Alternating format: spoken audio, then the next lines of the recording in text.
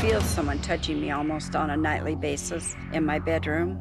This time on Unexplained Mysteries, Extreme Psychics. He says he tries to touch you to get your attention. Immediately I felt that I was high. He stood exactly where the killer was. Bam, I'm in there. ESP, Second Sight, The Sixth Sense. It is the ability to see what others cannot. With our exclusive case studies, we'll hear the remarkable stories of ordinary people touched by a psychic encounter. She used the terms I'm in the water and uh, I'm falling, I hit my head. I believe that Nancy Myers will come up with something. I truly believe in my heart. If I knew then what I know now, yes, I would have got her involved earlier. The expert who may have discovered the secret of second sight. It may be just something about the trauma that allows the, the psychic information to get to the surface. A woman arrested after reporting her telepathic vision. I don't think I was thinking right, but I knew I had to go see for myself. The waitress haunted by a dead customer. The bed was vibrating, and all of a sudden, I saw a shadow walk across the front of the TV. The Arizona Hotel with some unwanted guests. There are things that have happened in this building that I can't explain. The main feeling that I get is energy being pulled out of me. We'll explore all the paranormal possibilities. We have no idea what the physiology of the psychic experience is. I believe in what I can feel and touch and smell and hear. Life is a mystery. Sometimes things happen that you can't explain. Then take you inside the psychic experience. My whole body would just start uh, sobbing like a little child sobs after they've been crying for a long time.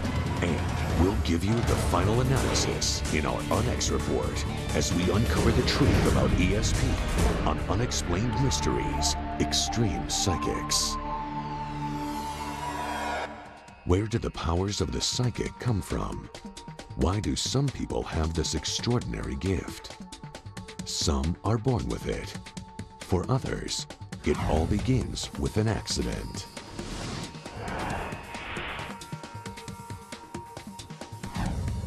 I was in a car and my, I, I, it's like I passed out. My, my foot went down on the accelerator. I had all kinds of trauma to my head. This side of my face was all black. I had glass in this eye. The whole side of my head was just a mess. Joyce Martin's accident nearly killed her. It also left her with an extraordinary ability. Dr. Richard Broughton has studied the phenomenon. It may be just something about the trauma, whether it's electrical trauma or accident trauma or whatever, um, that shakes up the brain or changes something that we don't understand yet, but allows the, the psychic information to get to the surface. It's almost like I can tune in to the victim and I can see through their eyes. It's almost like I become the victim because I can feel the pain. A few months after her accident, Joyce was driving home from work when she heard a newscast about a kidnapping. A little girl named Vicki Lynn Hoskinson disappeared while running an errand on her bicycle. I heard on the car radio that she was missing, and I drove to the area that Vicki Lynn had uh, been abducted. And when I got over there, I knew that she had gone over the top of her bicycle, that, that the car had hit the, the back of the bicycle, and that her hands were in dirt. Joyce's vision was so real, she was compelled to call the police. At first, they were skeptical. I don't necessarily believe in psychics, but the information that, sh- that I received from her on the telephone uh, was so accurate that I became very interested in, in talking to her in person. They finally agreed to meet Joyce and check up on her premonition. We went out to Ina Road. And as we got just past Wade, there's a big dip. And in the middle of the dip is where my, my whole body would just start uh, sobbing like a little child sobs after they've been crying for a long time. She made me stop and she looked over to the right and she says, this really looks like it. This is what I see. We got out of the car and we looked around and she says, I cannot understand why she's not here. Could her vision have been wrong? Joyce didn't think so. Too many things were here. The windmill, the old wagon, the barn, everything she had seen, except the little girl. Sadly, seven months later, Vicky Lynn's body was found, less than 100 feet from the spot Joyce had predicted. Vicky Lynn's father is now a believer. He wishes that police would have taken Joyce's vision more seriously. If I knew then what I know now, yes, I would have got her involved earlier. I would have listened to her more. I don't know how this works. I don't know how to stop it. I don't know how to start it. I've never really thought that uh, it was because I had a bump on the head.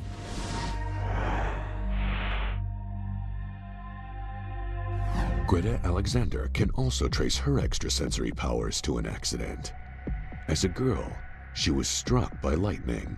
And after that, things began happening. I would sense, and I would know, and I would feel. And from that moment on, I began dreaming, seeing pictures, which I know now is clairvoyance, and hearing, which is clairaudio, and just feeling inside, which is clairsensory. And that's how it all started. These psychic visions would eventually lead Greta to this swollen river in Kelowna, Illinois. A flash flood had swept through the city. Fire Chief John Swan was at the scene alongside Ty Massey. The last thing I can remember is, you know, his patch on the side of his shirt hanging on, trying to get him above water, which I couldn't. Uh, we both went under. Um, I couldn't hang on any longer, and I had to uh, let him go. Ty was a respected member of the police department. He had a wife and a child on the way. He had everything to live for, but the rescue call to the river would be his last. He fell into the water and vanished. He was in the air when I seen him, and um, he hit the ground in um, right at the water line, and uh, started uh, floating out into the river. He became unconscious, and uh, that's what caused Ty to not be able to save himself. The next morning, they started dragging the river for his body. It seemed hopeless until Ty's spirit seemed to reach out to Greta. Immediately I felt that I was Ty, and immediately I had to call to tell them. As we talked, um, uh, we went on and uh, she used the terms I'm in the water and uh, I'm falling. Uh, I hit my head. I think John was a little mind boggled by the whole thing, and you could tell in his voice. I had more important things I thought at that time. We had uh, 200 rescuers, we had dive teams, dogs teams, we had helicopters in the air. So we had a lot of things um, that was going on that I felt was way more important at that time. As John searched the river for his friend, Ty's family tried to come to terms with the fact that his body may not be found. It was unbelievable to think that you lost a child was unbearable, but to think that your that your child was in the river and no one can find him, it, it was it's indescribable. But the messages kept coming to Greta, and Greta kept trying to convince John Swan to listen. I was so upset with John. Uh, he just wouldn't do what I told him to do. I didn't let all this known to everyone because I didn't want the basically the public to get the wrong impression that John Swan uses um, psychics to do all his rescue. I says, that's the case, we might as well eliminate a lot of our equipment and just have Greta come sit at our fire station. And I just felt like I got to go up there and do this because he isn't doing it. I picked up the cellular phone, I was talking, and it was Greta again. She says, uh, John, she stopped for a second. She says, you're near the water, aren't you? And I was standing right at the river. And I said, yes, I'm next to the river. She stopped for a second. She says, I'm just down from that big yellow green thing or that big yellow thing or green structure. There's something big and yellow by you. I go, hmm, I got her this time. I said, okay, we're going to go back out. And uh, thanks, Greta. I hung up the phone. And I said, she's messed up this time. I turned around and there was a big yellow green fire truck right behind me. And I go, oh, wow. You know, so I'm, uh, at that time, um, I'm getting very nervous. And because there's too many things she's saying that made sense. Now that she had his attention, Greta told Chief Swan exactly where to find Ty Massey's body. I told one of my new firefighters, get a pike pole, which is a pole with a hook on it, about 12, 15 foot long, go down to the third brush pile above the railroad bridge, and get inside the brush pile, and you have to go deep, about eight foot down, and hook Ty Massey and pull him out. They went up to the North Command Post, got a pike pole, went down to that brush pile, reached in, and pulled Ty out. Can an injury to the brain really bring out psychic powers? Experts believe the phenomenon needs further study. We have no idea what the physiology of the psychic experience is. I don't think we can ignore the fact that, that trauma seems to be associated with certain psychic abilities, but it's not the whole answer. I always thank my angels because they bring it to me. And I always bless them and the family because I think if that were me, I would want them to leave no stone unturned in order to close that door. If the accident had not occurred, no way would I be doing this. I, I don't know what I would be doing, but I know I would not be sitting here today.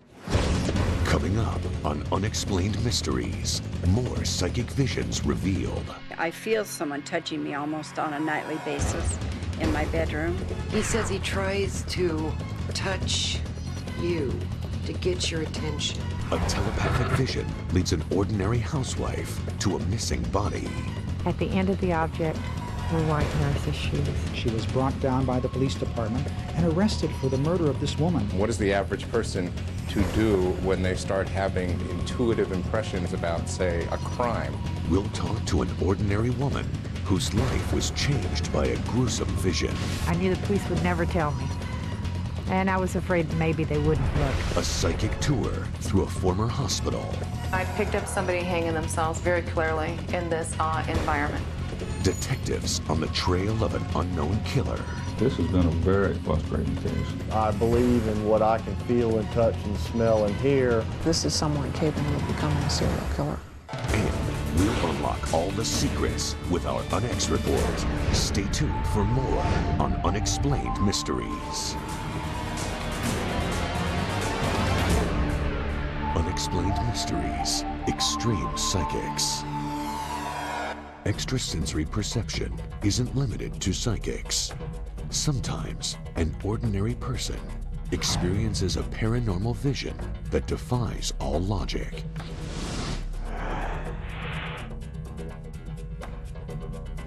Etta Smith had never had a psychic experience in her life. A newscast changed all that. It was 3 o'clock in the afternoon, and I was listening to a radio broadcast while at work. And they said that they had found the lady's vehicle in Pacoima, uh, I think on a dead end street, and that they were making a house to house search for her. And as soon as they said house to house search and, and that thought registered, it was as if someone said to me, She's not in a house. I saw a picture. It was as if someone had put a picture right in front of me. She immediately reported her vision to the police, giving them a detailed account of what she believed had happened. I explained uh, exactly. It'd be the right hand side with a dirt path to her, a hill behind her. He suggested that I show him on a wall map where this area was, and that's when we discovered that it was Lopez Canyon. I don't think I was thinking right, but I knew I had to go see for myself. I, I knew the police would never tell me, and I was afraid maybe they wouldn't look. Driving to the spot in her vision, Etta made a shocking discovery. As my eyes traveled further across the object, at the end of the object were white nurse's shoes. But once the authorities determined that Etta's vision was accurate, she became their number one suspect. She went home and then subsequently she was brought down by the police department and arrested for the murder of this woman. Her children were kept for 10 to 15 hours. She was kept for four days. She was interviewed at 14 to 18 hours at a time, uh, taken lie detector tests. Uh, it was a grueling four days in a very difficult situation. Etta was eventually cleared of the crime, but no one was able to fully explain her single psychic vision. It's possible for living, breathing human beings to come up with um, some very strong information about um, distant situations that they could not know about.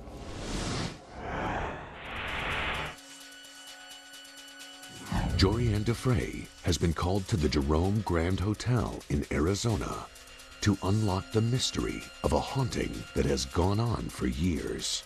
As I stop here, this is dense to me. This is heavy. This is thick. I've got goosebumps going up and down my whole body. Jorianne's sixth sense began as a little girl when she received an injury to her head. Since then, she claims she has been able to predict the future, see into the past, and speak with ghosts. Has anyone ever felt like somebody, like psychically coughing on them or? It was my mother-in-law was staying in the room next door here, and she swears up and down that somebody was walking up and down the hallway up in this area coughing. They had had a number of plagues hit the valley. Here with a lot of your underground mining and stuff, there uh, some people were more susceptible to, to lung problems. Impressions that Jorianne has picked up on date back to when this scenic hotel was a hospital. It was built in the 1920s for the residents of Jerome, who came to work in the prosperous copper mines. But when the mines closed, Jerome became a ghost town. It's gone through many, many years of being vacant and somehow remained intact.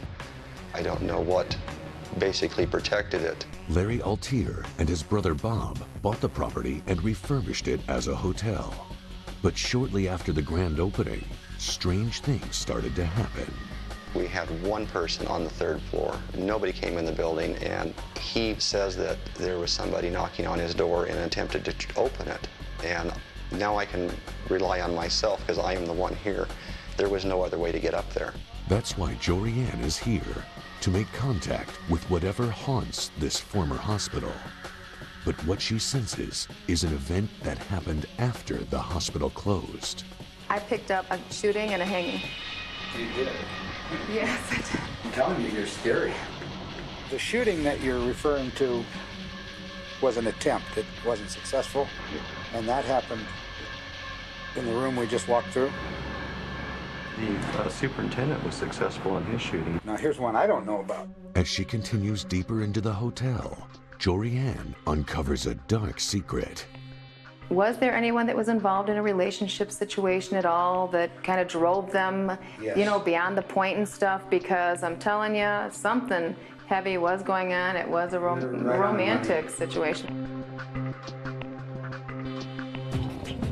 The gentleman that lived here was, was uh, separated from his wife Okay. uh, by some circumstances that he had no control over at all. Right. He ended up living here while she was living in Clarkdale. And I guess at some point it just got to be too much for him. When Ron Balator was the sheriff in Jerome, he discovered a body in this room. I, you know, I picked up somebody hanging themselves very clearly in this uh, environment. Jorianne found another hotspot of psychic activity centered around the elevator. When I was coming into the elevator, I sensed that there was like a, a heaviness in the air. It felt like it was uh, thicker, more dense. She follows this feeling down to the utility room. This seems to be significant. It felt like activity around this area. Did the elevators ever get stuck or anything like that also? In 1935, they were having a problem with it. See, and even right now, sitting here, I'm getting a little pain in my head. I don't know if um, a, a person got, you know, got caught up back here or got stuck or having problems back here. Does that make sense? Yes. Okay, did they expire? Yes. They did expire. Records prove that in 1935, a maintenance engineer was found here with his head crushed. His death was ruled an accident, but there are those who believe that there is more to this death than was originally reported. There were a lot of questions that weren't asked. Um, I think they were in a hurry to get as much of the minimum facts in as they could so that they could come to that verdict that it was an accidental death and that the company had no uh, responsibility in it. Jorianne also senses that the death was not accidental. She feels that until this mystery is solved, the spirit will continue to haunt this building. And I believe that he is unsettled. I believe that there's some restlessness around him and his questionable death. Coming up, a psychic looks through the eyes of a killer. There's no expression, the eyes are wooden. Nothing will stop it. A mother puts her faith in the paranormal. I believe the Nancy Myers will uh, come up with something. A detective searching for the truth. Quite frankly, I didn't know what to expect. A woman scared for her best friend's life. I wanted to leave, but I didn't want to leave Shirley alone with this thing. The intentions of the spirit may not be to hurt me, but it has hurt me. And finally, we'll tie it all up in the UNX report on Unexplained Mysteries Extreme Psychics. Unexplained Mysteries Extreme Psychics. The police are probably the last people anyone would expect to call a psychic. But there are a handful of psychics that detectives turn to when all else has failed.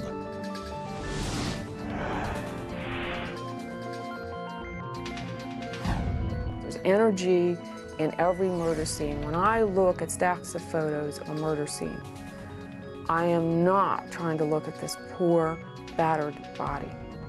What I'm looking for is somewhere when that photographer moved all the way around the body, he stood exactly where the killer was at a moment when the killer was open.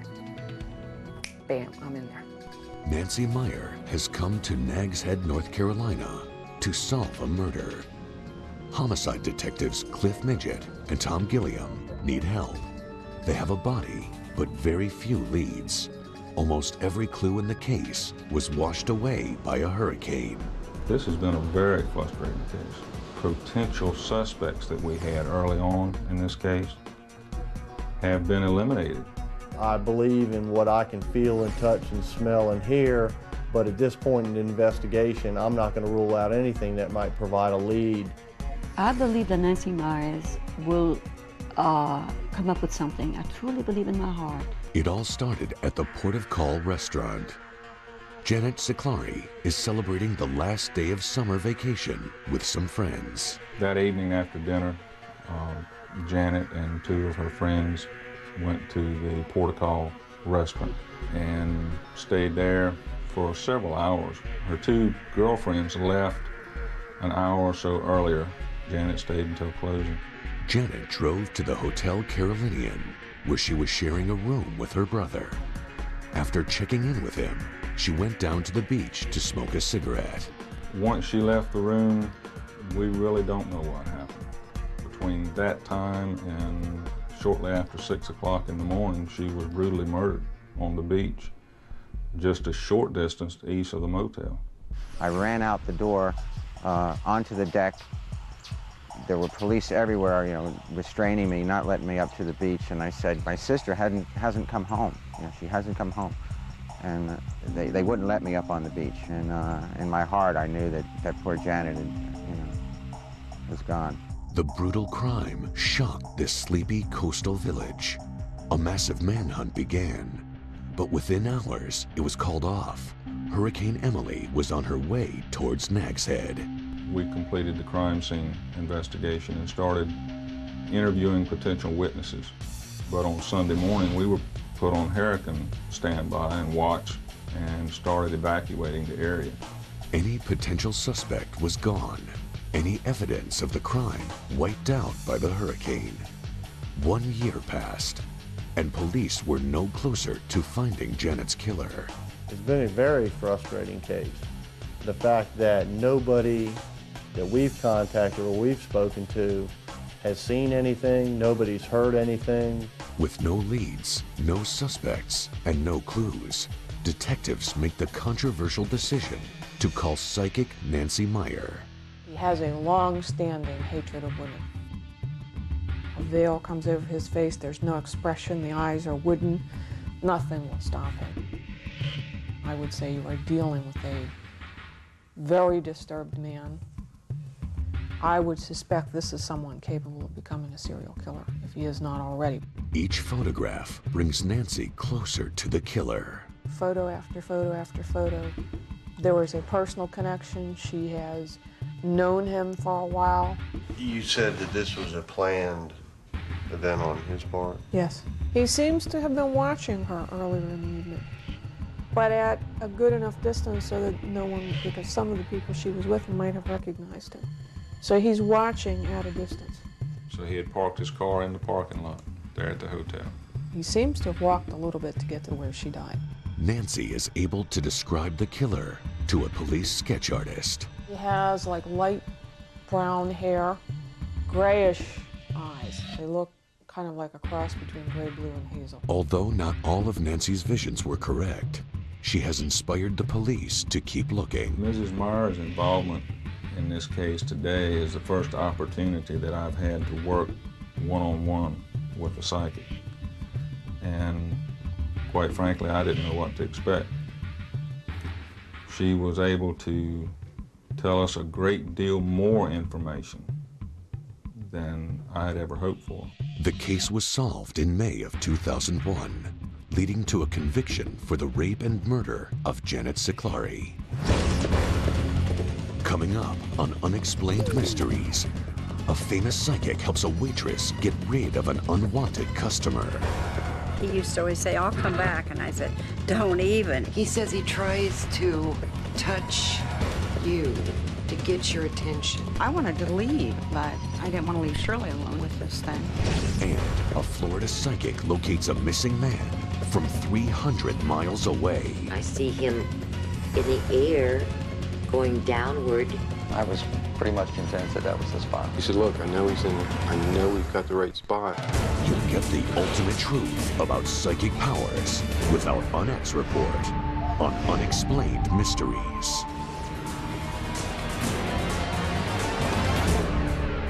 Unexplained Mysteries, Extreme Psychics.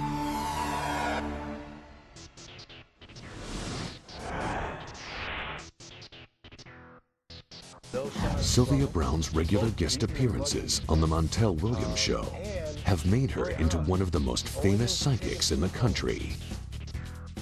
Among her talents is the ability to communicate with the spirit world. Whenever I go out on a, um, a haunting, usually what happens if it is truly a haunting is about at the approach of where I'm going to be. A sense of heaviness like now begins to come over me. It begins to be really heavy in the chest. Today, she is here to help Shirley get rid of an unwanted visitor. I feel someone touching me almost on a nightly basis in my bedroom, more or less personal things. My covers moving, uh, someone sitting on the end of my bed. The intentions of the spirit may not be to hurt me, it may just want my attention, but it has hurt me. And I've even told it, you're hurting me and leave me alone and don't bother me. Shirley's nightmare began two years earlier when she struck up a friendship with a customer at the restaurant where she was working. He lived on a yacht in the harbor and he came in three times a day to eat. And when he became ill, he called the restaurant and asked that I call him. It really was more like a friendship on his part more than it was on mine because it seemed like that I was constantly helping John. A few months later, John passed away. Since he had no family, Shirley was called on to take care of his belongings. She gave away most everything, except for some furniture that she took home. When I moved the furniture in, that's when the problem started, that month. That's why I think it's John. And John wasn't the only spirit haunting Shirley. Another friend of hers had recently died after leaving her with an unsettling message. I was very close to Seth. He was my best friend at that time. He used to always say, I'll come back. And I said, don't even. And he'd laugh and everything. Being alone with two ghosts was more than Shirley could handle. My best friend Jan lives at the end of the street. And I called her one night and told her that I was terrified and I couldn't go to sleep. So she brought her daughter and she came down. We were all sitting on Shirley's bed, and my daughter could feel it. The bed was vibrating. And I was watching the TV, and all of a sudden, I saw a shadow walk across the front of the TV. You could feel it shaking, and sometimes you could see its imprint sitting on the bed sheets on her legs. I wanted to leave. I mean, I was scared, but I didn't want to leave Shirley alone either, you know, with this thing. I worry a lot about her, tried to find ways to get help for her, and we haven't been able to. It was then that Shirley decided to contact Sylvia Browne. Oh, hi, I'm Sylvia Browne. So good to see you. I hear you've Thank been you having some problems here. A lot of problems. As she is being led upstairs to the bedroom, Sylvia seems to make contact with one of the spirits. Oh, somebody was very sick. Thin oval face, gaunt eyes, male. There's a pathway this entity walks from this area here, about here, um, limping somehow, and then couldn't walk, coming over this way. The spirit then seems to speak to Sylvia. He has a voice, he says. He says he tries to touch you to get your attention Yes, he does. um, in ways that are inappropriate. Yes, he does. Um, breasts and Mm-hmm. below waist and, and also something in your ear. Mm-hmm. Exactly. He says he waited around because he wanted to be able to talk and explain to you through me that he's sorry. He wants you to get rid of his whatever it is. I did. He says the property was tainted. Well, he didn't live long after he got the property that I had. Now, who was the more slender one? John. Okay, and the other big one is Zach. The one that's caused you the most problems, though, is the the bigger one. What does he say what he wants? Well, he said he, he made a pact with himself that if there was any way he could get back and prove that there was life after this, he was going to make damn sure it was to you. And I think John's here almost to protect you from Zach. Isn't that funny? Not that Zach would hurt you, but I think John came in as sort of a protectorate because Zach was getting out of hand. Is he going on, Sylvia? He's going to go on, I promise you that. Sylvia attempts to send the spirits of John and Zach to the other side. By the grace of God and the Holy Spirit, you've got to go. You've got to go to the other side and be about your business. Within a few months, the spirits were back, both drawn to Shirley, just as they had been in life. If I have to live with it, I hope that I'll be able to understand it a little bit better. And that maybe, like I said, I can just get on with my life for a change. Because I certainly haven't been able to for the last year and a half. Next, on Unexplained Mysteries, a missing persons case baffles the police. It became pretty apparent that uh, this wasn't your, your average missing persons case. A brother desperate for answers. This was something new that we could try. We just were willing to try anything. A detective takes a risky gamble. Should be very simple. There's railroad tracks, bricks, there's a bridge. And the long distance psychic's unusual insight. I don't need to see you. I don't need to see the scene of the crime. And finally, we'll analyze the evidence of these clairvoyant encounters in our UnEx report on Unexplained Mysteries. Unexplained Mysteries Extreme Psychics. One of the more grim talents attributed to psychics is the ability to locate missing bodies.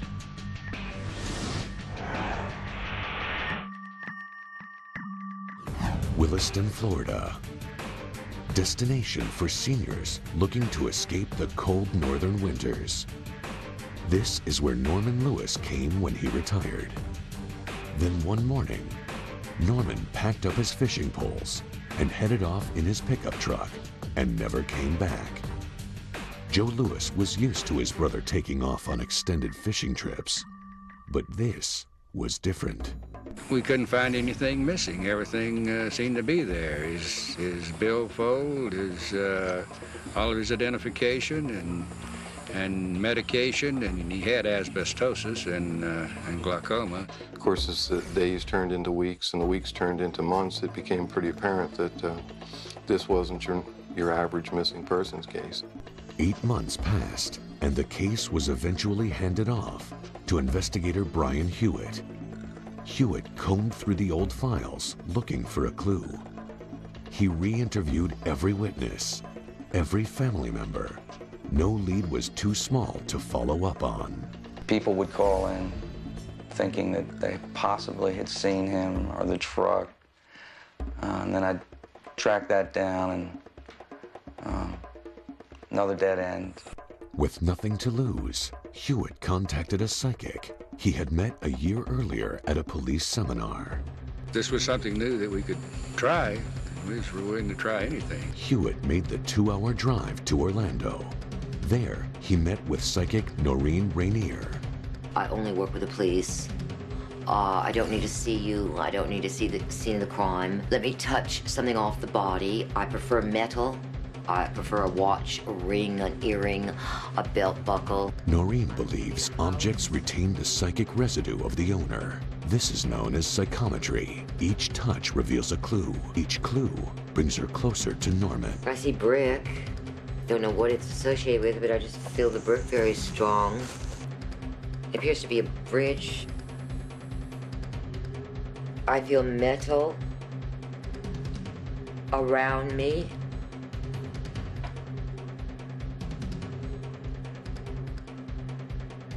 I feel plants. She talked about railroad tracks. I'm driving for a short distance, and then something happens, and I see him in the air going downward.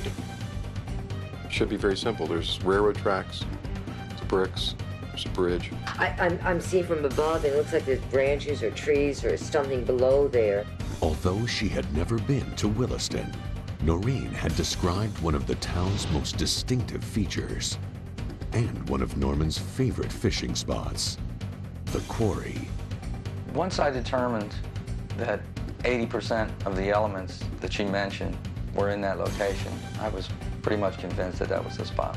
With the location narrowed down, Hewitt called in a police diving team to search the water. The dive team made their search and came up empty-handed. A lot of people, and maybe even myself included, would have said, uh, all right, we tried, but Brian wasn't that way. He said, look, I know he's in there. I know we've got the right spot, but we're just not using the right techniques. So that's when we turned to the Navy. Although I don't think we'd ever gotten them here had they known that they were acting on a psychic's tip. The diving team wasn't told why they were searching this spot. All they knew was that Norman was a Navy man. That was something these men could understand.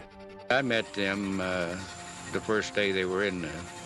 Then they said, if he's, if there's a truck in here, we'll find him. Determined to end the Lewis's grief, the divers combed the lake. Within hours, they locate Norman's truck. When we just found the vehicle, Joe was there. Joe was up on a cliff.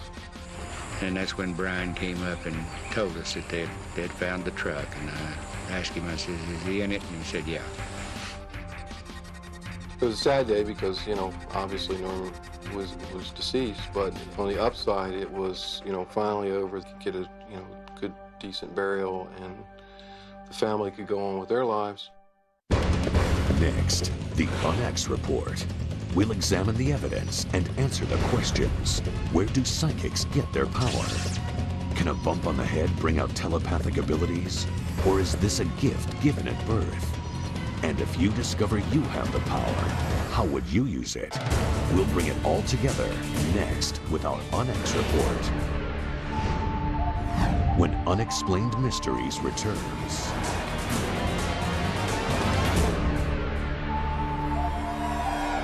And now for the UnEx report. They have the ability to see what others cannot. Some can communicate with the dead. Others appear to pick up psychic impressions of traumatic events. But no one understands where these powers come from. Some believe that it can originate with an injury to the brain. If the accident had not occurred, no way would I be doing this. A few discover the power within themselves. Photo after photo after photo. There was a personal connection. She has known him for a while. He wanted to be able to talk and explain to you through me that he's sorry. Some even speculate that everyone has the ability. They just haven't developed it. Maybe there's more to life than you thought about. Maybe you're capable of more than you thought about. We've heard from an ordinary woman who experienced a single, unexplainable vision. It was as if someone said to me, She's not in a house. I saw a picture. It was as if someone had put a picture right in front of me. And a psychic who helped police track down a killer. I would suspect this is someone capable of becoming a serial killer, if he is not already. She was able to tell us a great deal more information than I had ever hoped for. As we've seen, each psychic's gift is unique. Let me touch something off the body. I prefer metal. I prefer a watch, a ring, an earring, a belt buckle. When that photographer moved all the way around the body, he stood exactly where the killer was at a moment when the killer was open. Bam, I'm in there. But not everyone is convinced that the power is real. I believe in what I can feel and touch and smell and hear. Life is a mystery. Sometimes things happen that you can't explain. Even those who are blessed with second sight aren't sure why. I don't know how this works. I don't know how to stop it. I don't know how to start it. I always thank my angels because they bring it to me. In the end, the most compelling evidence comes from the people whose lives have been touched by a psychic encounter. He used to always say, I'll come back. And I said, don't even. She looked over to the right and she says, this really looks like it. This is what I see. If I knew then what I know now, yes, I would have got her involved earlier. It's been said that the human brain has the capacity to figure out everything except itself. Which is why the powers of the psychic will always remain an unexplained mystery.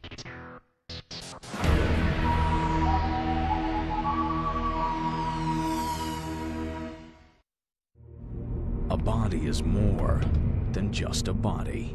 It is the connection to a crime scene. It is the missing piece to the puzzle. It is the key to putting a criminal behind bars. Dead Men Talking, tomorrow at 8, followed by The Interrogators at 10, only on Bio.